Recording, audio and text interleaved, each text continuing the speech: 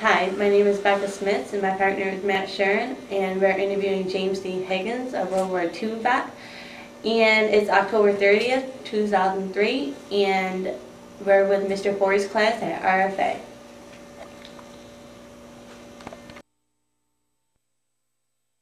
Okay. Okay, what is your full name? Uh, James C. Higgins. Where and when were you born? I was born on December 29th, 1922, in Decatur, Illinois. Okay. What was your pre-service education? A high school graduate. Did you have any pre-service employment? Yes, I worked as a grocery clerk in the Denny Faxon store. And uh, I was also hired then uh, as a wholesale bakery salesman for the Jamestown Baking Company. Okay. When and how did you enter the service? I enlisted on uh, December 8th, 1942, and I entered the service in, uh, I was sworn in in Elmira, New York, and then transferred to uh, Fort Niagara for processing. Okay, and did the attack on Pearl Harbor affect your decision? Oh, yes. What were your feelings about it? What was one? Your feelings about Pearl Harbor being attacked? Well, it was a frightening event that uh, upset the whole world, and especially our country. Okay, so would you say that the attack on Pearl Harbor was the main reason you decided to enlist? Oh, by all means, yeah. And um, did any of your friends enlist with you? No, no. You, just you? Mhm. And how did you break the news of your enlistment to your friends and family? Well, they knew ahead of time that I was going to enlist, and they were very supportive. I had a brother who was already in the service. In what branch did you decide to serve and why? Well, this is an- an odd story. Um, I used to enjoy hunting, and um, I thought nothing would be more fun than shooting airplanes down. So uh, when you enlisted, you were given the privilege of uh, selecting the branch of service you wanted to serve in. And um, as I was going through the induction center and taking all the various tests for uh, deciding where you're best fit, they wanted me to be an airplane mechanic. I think probably because I just uh, been out of high school for a couple of years and had taken high school physics and probably scored well with all the pulleys and levers and everything. And uh, I stuck to my guns though and said I would prefer to go to uh, airplane mechanic, or to uh, anti-aircraft, and that's how I did. Okay, so when you became, when you enlisted, I mean, okay, where did you go for basic training? Fort Eustis, Virginia. From the James River. Can you recall any interesting experiences during your basic training? I could give you many. Uh, I'm trying to think of something that would be appropriate. Our- Our uh, drill masters, uh, we had a uh, Sergeant Butler who could have filled in as a villain in a Hollywood movie.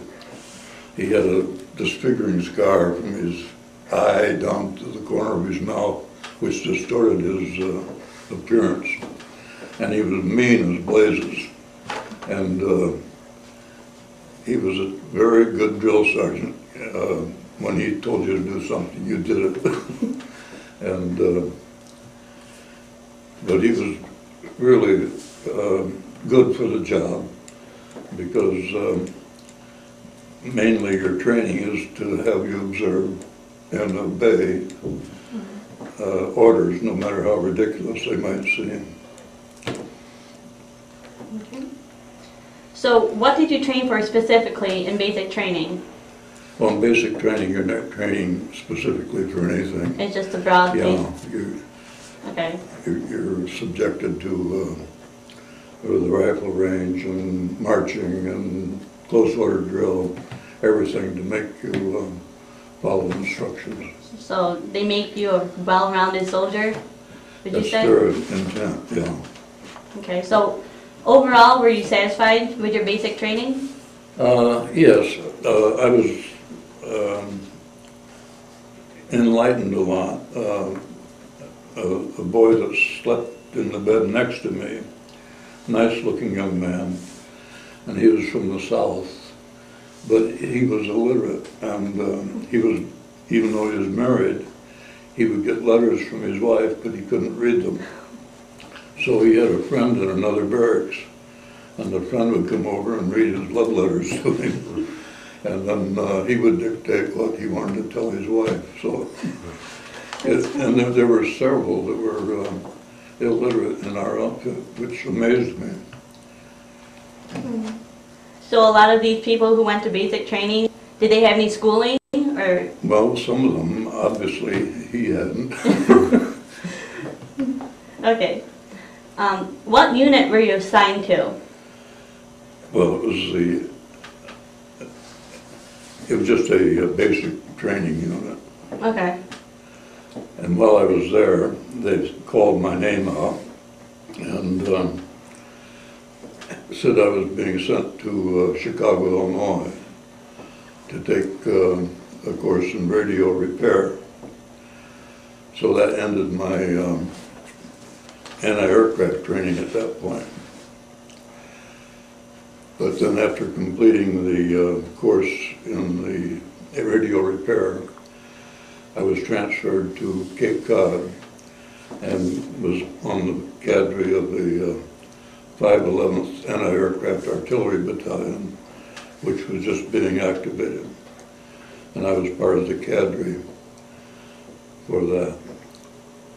I might add, um, after building a radio at the um, electrical school, I never saw another radio, so it was a waste of time. so you bounced back from one thing to another in basic Yes. training? Mhm. Is a lot of it was a waste of your time? Quite a bit of it. And how long did you, how long were you at the radio re- repairing At, school? uh, It was a 13-week course. And why did they send you there? Because you, I suppose because they, again, thought I was mechanically inclined. and you didn't want to do anything with mechanics? Okay, I don't blame you. And, um, okay, your highest rank held was sergeant. How did you achieve this rank? Uh, Being a, uh, at the right, in the right place at the right time, I guess. Um, When I graduated from um, radio school, they made you a uh, Tech Five, which is a corporal with a T under it. And uh, then when they transferred me to um, Camp Edwards, as I said, they were just forming a cadre. And the company officer, commanding officer called me in one day and um, asked me different questions about identifying airplanes and tanks and one thing and another. And apparently I answered them all right. And he said, well, Higgins, I'm gonna make you my intelligence sergeant. So, Do you think it's because they had like, they had scarce people? Or do you really think it's because you scored good on tests? Do you think they just, well, I think primarily it was because, again, uh, I don't know, I, I uh, just, lucked out, I guess. okay, so when you became a sergeant, did you enjoy having that rank? Oh, it was very nice because you got more pay and uh, a lot less work to do. And I was in, then in uh, company headquarters with, uh, I served with a um, battalion intelligence uh, lieutenant, and uh, I was his assistant. And um, every day after lunch, he would light up a cigar and put his feet on the desk and tell me what a fool I was not to transfer to the Air Force and get myself a $10,000 education on the government. And um, he talked me into taking um, the test, and I transferred over to the uh, Air Force. And then they sent me to uh, Biloxi, Mississippi. And in Biloxi, uh, I really was tested for about a week. Uh, We had all sorts of tests, uh, endurance test, color blindness test, uh, coordination, um, every, every type of test you can imagine. And I ended up, I qualified for uh, pilot, bombardier, and navigator, the three.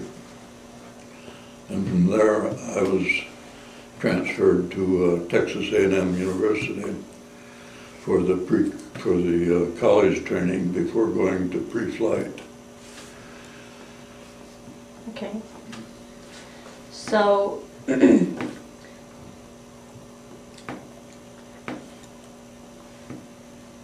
you ended up in the Air Force part, You know, and that's where you stayed? no, You- Then you went somewhere else? Where did you go after that? Well, uh, we took our college training, and uh, there were a thousand of us in the squadron. And on April 1st of 44, the commanding general of the armed forces uh, sent a telegram, and they gathered all of us into this big rec hall, and um, said that in order that you may have an earlier opportunity for engaging the enemy, all former members of the ground forces, which was me, are hereby eliminated this day. So out of the thousand of us, 900 of us uh, were washed out immediately. This happened all over the country. And uh, they sent me then to uh, Fort Bragg, North Carolina, in the infantry. So um, you can see I I never saw a shot of a plane, never saw a radio, never got into an airplane, and now I'm in the infantry. Would you have rather been in something else than the infantry? In retrospect, I am very happy I was where I was at. I uh, enjoyed the infantry, and I felt that uh, I I was proud to be an infantryman. Okay, so when were you sent overseas? On uh, October 20th of uh, 44. And where were you sent? We left out of uh, Camp Kilmer, New Jersey, and we landed in Marseille, France. Were you nervous about going over there, or did you know what to expect, or did you hear stories? Well, uh, Yeah, I think, um, I- I'll I'll tell you frankly, when uh, we sailed out of New York Harbor, every man aboard was on, on deck, you know, and you watched the Statue of Liberty until it was out of sight, and it was absolutely quiet. And I think every man thought, I wonder if I'll see her again, you know? I mean, it was a very emotional thing at the time. And a lot of men didn't see her again. Okay, um, so you went to France. What's the name of it? Marseille? Marseille, Marseille. Okay, and when and where did you first come into combat? say that again. When and where did you first come into combat? Well, uh, we landed, as I say, uh, or we left on October 20th, and we were in combat on November 1st. We relieved the um, 45th Infantry Division, Okay. took over their position. Okay. And what was your reaction to this first, how you overtook their position? How do you what? What was your reaction to that? Uh, Well, you're, when you're first in combat, you're very green. And in basic training, you know, you were taught how to dig foxholes and one thing another. But you tried to get by with the shallow hole you could dig because it was a, a lot of work. And uh, I remember the first night, we were right by a um, artillery battery. And uh, again, they told us to dig in and we dug a little shallow foxhole. And then the artillery came in and uh, you should have seen the dirt fly then. Started making their holes much deeper. so. Okay, so when you went into combat, were you told well in advance or was it a spur of a moment thing? Well, we knew we were going to be relieving uh, the 45th Infantry, yeah. Okay, so it wasn't like November 1st, they came and told you that you were going to be doing it. No, It was more like a week ahead? we, we knew they were sending us um, by truck up to relieve the uh, Okay, yeah. 45th. And what was your reaction to seeing the first casualties of war? It was very uh, painful because um, the first dead soldier I saw was a friend of mine, and not two weeks before we left uh, Fort Bragg, he and I had gone into uh, uh, Charlotte, North Carolina together on a weekend pass. His name was Joe Bartkowski, and uh, he was the first uh, dead soldier I saw, and it- it was made quite an emotional impact at the time. Okay. At any point during the war, did you feel that you wouldn't make it out alive? At times, several times. Okay.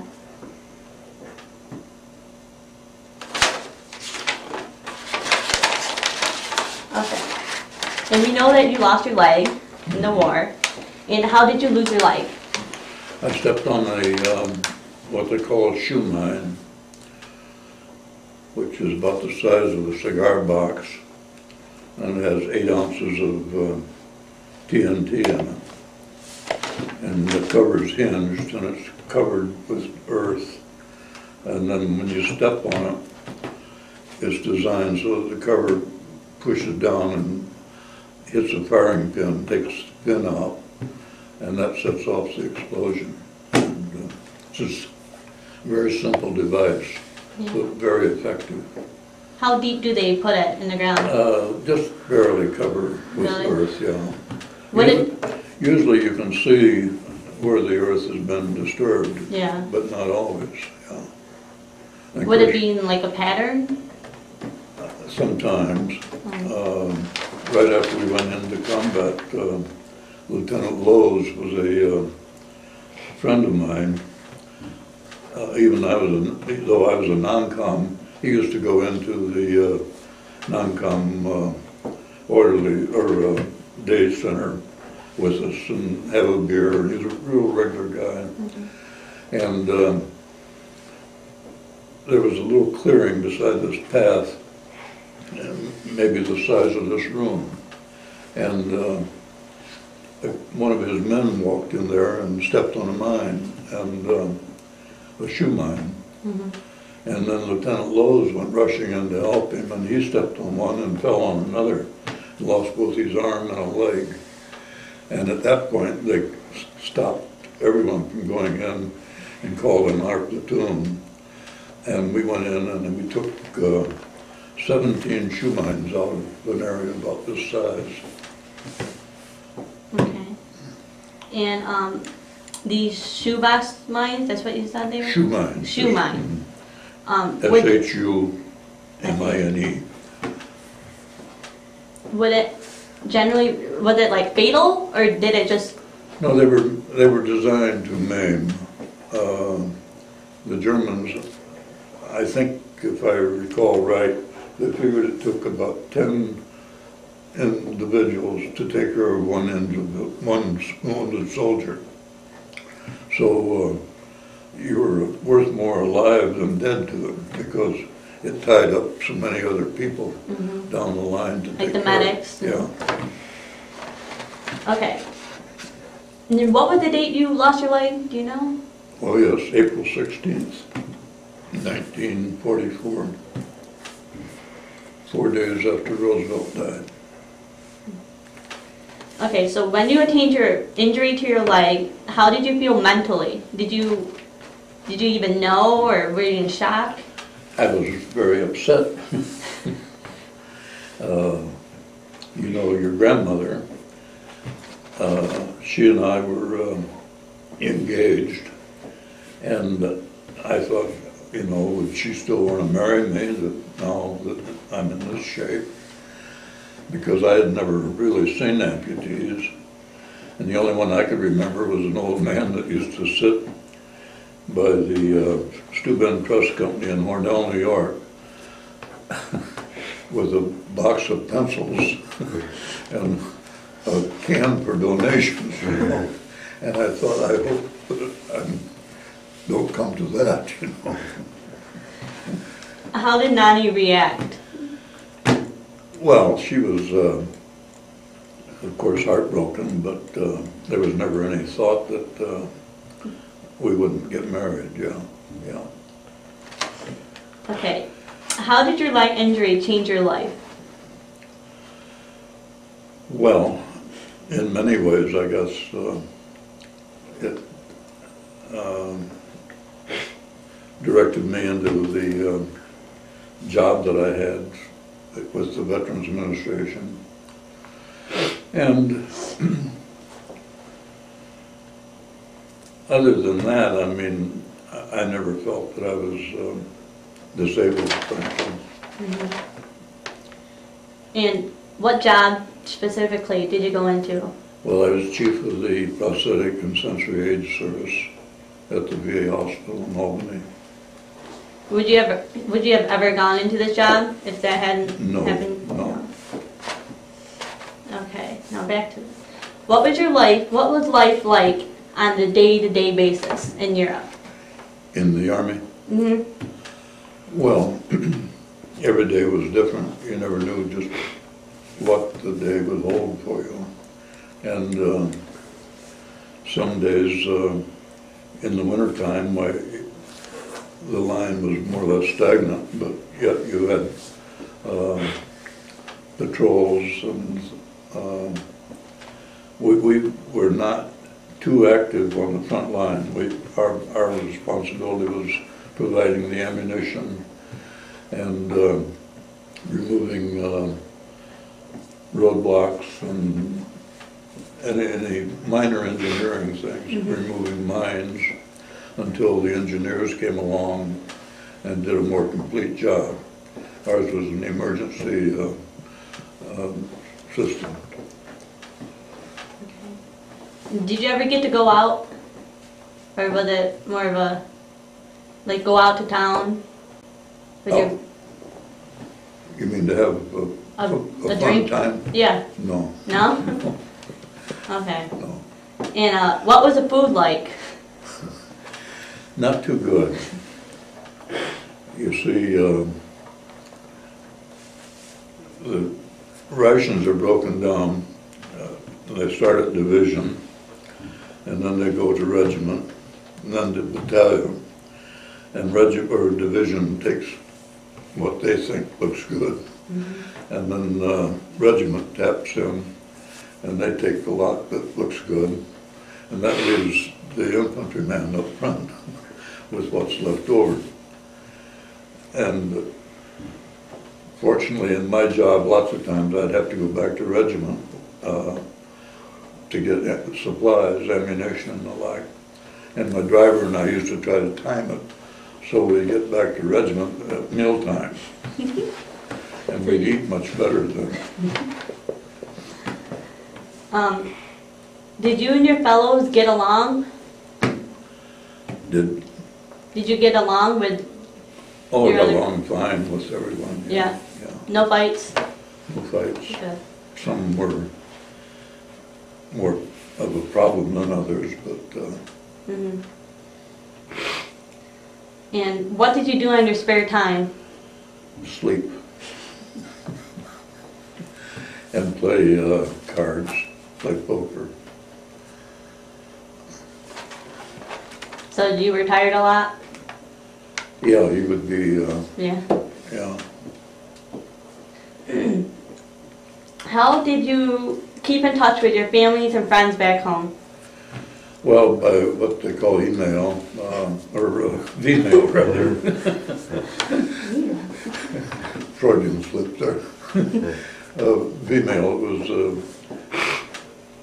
letters that were photographed and uh, reduced in size and uh, airmailed. And it was, the letters had to be uh, censored by an officer in your unit to be sure you weren't giving away secrets and so that, uh, it, it was, a lot of it was a waste of time, I thought, but, Um, because they had to be checked. Did to- you? To be sure that you weren't telling where your division was and Uh-huh. all that sort of thing, yeah. Did you find that you had to be impersonal? Yeah, Yeah? yeah, yeah. Okay. Um, what was the most interesting or inspiring thing you experienced during your service? Wow. Most interesting and inspiring thing.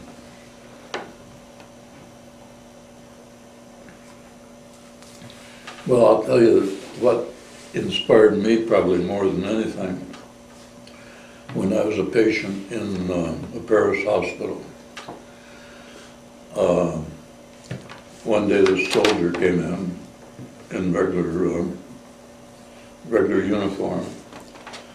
And he came up to my bed and started talking with me, and I wondered why he singled, singled me out. And we talked quite a while. And um, he said, would you like to see an artificial leg? And I said, oh, yes, you know. So he raised his trouser leg, and he was wearing a limb just like I am. And uh, he started dancing with the nurses, and and my morale went from very low to sky high, you know, after that. Did he Um, show you?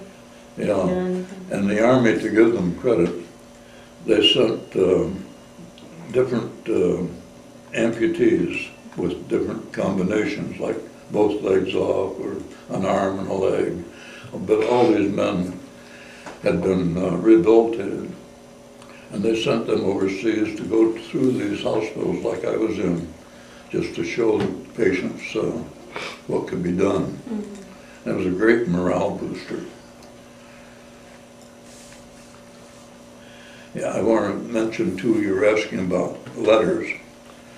And uh, when I got hurt, I immediately, uh, the next day, I sent a letter off to your grandmother and to uh, my parents and told them just what had happened, that I wasn't blind or anything, that I didn't want them to worry too much. And um, my sister and her husband were home at the time from Pennsylvania. And they sent uh, uh, telegrams and everything, radiograms to me, which I never received. And uh, each day at mail call, I'd wait for my name to be called and never. And it went on weeks. And finally, one day, they said Higgins. And I said, here.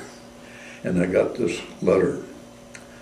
And it was from Gert Witter, who used to run the uh, Market Basket Store in Westfield, Pennsylvania. And she had read about my injury, and she was on my bread route when I was in the, before the war, and she sent me a letter. That was the only letter that I got. And then, uh, I think it was in July, finally all my mail caught up with me. Brownies and cookies, and they had turned to dust, and it was a mess, but That's fine. Okay. Who do you remember best from your service and why? Um, Well, I had a few very close friends. Um, Lieutenant Eddie was our platoon leader. He was a very fine man. I liked him a lot. And Bert Edelbach was a uh, dear friend. Uh, I went to his wedding in on Long Island, Kitty and I. And and Huck Long was um, a good friend. He's now a retired major general. And he was in my, I was his platoon sergeant. So you're the, So I had a general serve under me at one time. that's fine. So was Lieutenant Eddie just a really nice guy? and- He was a real fine person. He went to the University of Vermont, and um, I guess he was a football player there. Mhm. He was um, very fair and um, very nice. What experiences left the greatest impressions on you? Um, Well, when I was a uh, patient in um, McGuire Hospital in Richmond, Virginia, um, I was in the kidney ward at the time, and um, I saw a group of men coming down.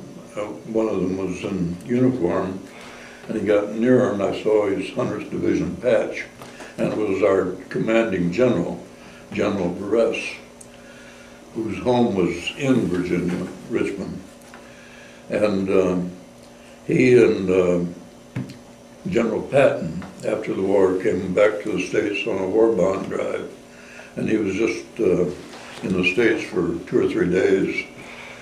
But out of that time, he took time to go over to the hospital and look up uh, the men that had served in his uh, division.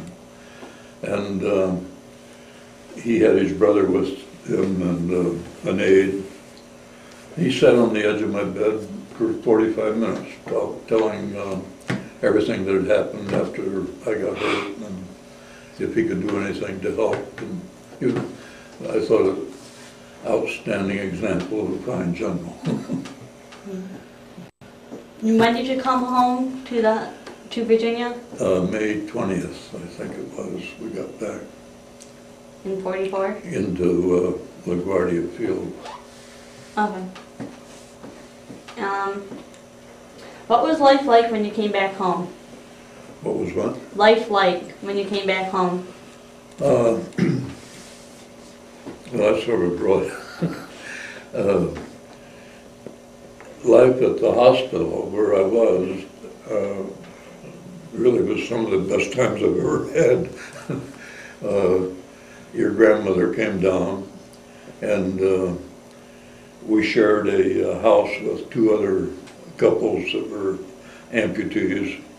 And um, we, we just had a real fine time, and the neighbors in the um, neighborhood, they adopted us, and uh, we had parties about every weekend, and it was just a, a real fine time.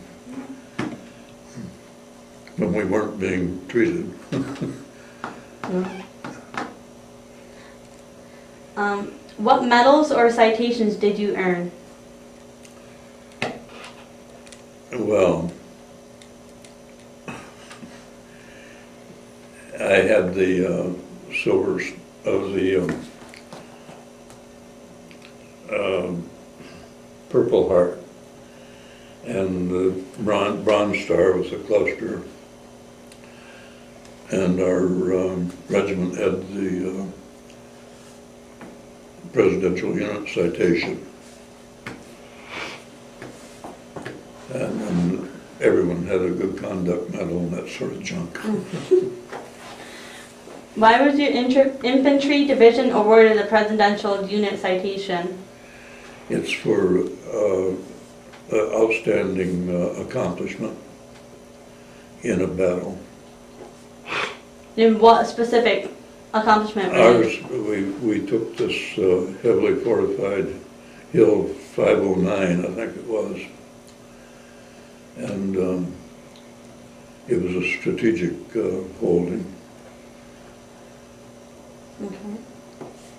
And why did you receive all the stars, like the brown stars and the, Uh, Nothing special. a lot of people got them? A lot did, yeah. Yeah. Yeah. Just for recognition? Yeah, it was for doing maybe something a little special, but nothing that ranks uh, very high.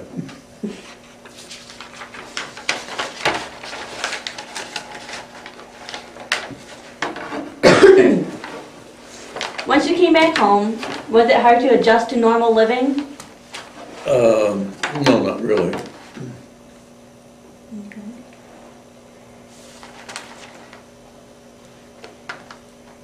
And what employment did you do after the war? I think we touched on that. Well, I went uh, to the VA house, or to the VA in Washington to uh, see about having a new limb made, because when we got in the service was a temporary prosthesis. And while there, I inquired about possible employment. And uh, they sent me to uh, personnel and had me uh, take a test and uh, they were explaining that they were trying to establish this program that I was in throughout the country. And uh, it was still on paper. And uh, then on July 1st, by Congress appropriated the funds and everything, and uh, there were, um, I think 13 of us took the test and six of us passed, and um, we were assigned to different regional offices around the country. And where did you go? And I went to Albany. You wanted to go there, right? Yeah, primarily. Did you get a choice? Yeah, we had a choice. Um, In fact, we had talked about going to Denver. And um, it was so far away from the family and everything. And at that time, air travel wasn't anything like you have now. And so we opted for Albany. And I've always been glad that we did because I enjoyed uh, working there. Okay, did you, re- did, did you maintain contact with the people you served with With some, mhm. By letters or? yeah, email now and um, there's only about two alive that are uh, still, that I'm still in contact with. Hmm. And how many in the beginning? Oh, probably six or seven. Uh-huh. Okay. Overall, were you happy with your decision to serve? In the service, Mm-hmm. Very much so, yeah.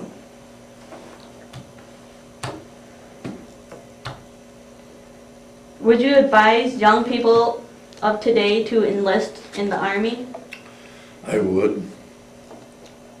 Why? Well, I think it's a good training and uh, a good experience. If not in the Army, why the Peace Corps or something like that. Okay, and do you think people's view of the military has changed since World War II? Uh, Yes, I think they're more receptive now. What do you mean by? Well, before World War II, uh, anyone in the Army was sort of viewed as a misfit, you know. And then when uh, Pearl Harbor came along, uh, everyone that could walk and was healthy was put into the service about. And, um,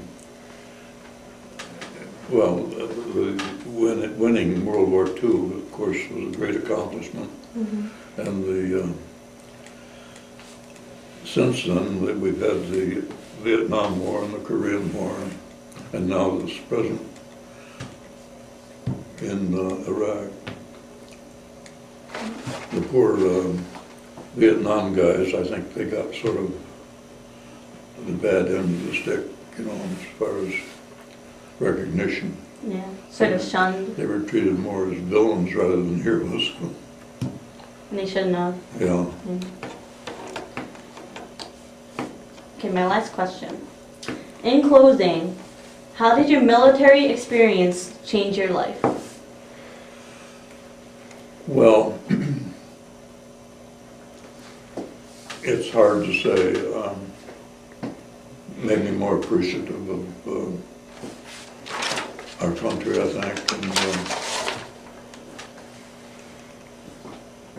it uh, gives you a feeling of uh, satisfaction that you were able to serve your country.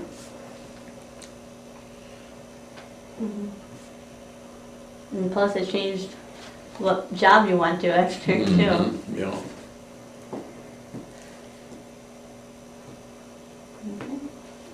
Thank you. Well done. I'm not bleeding or anything.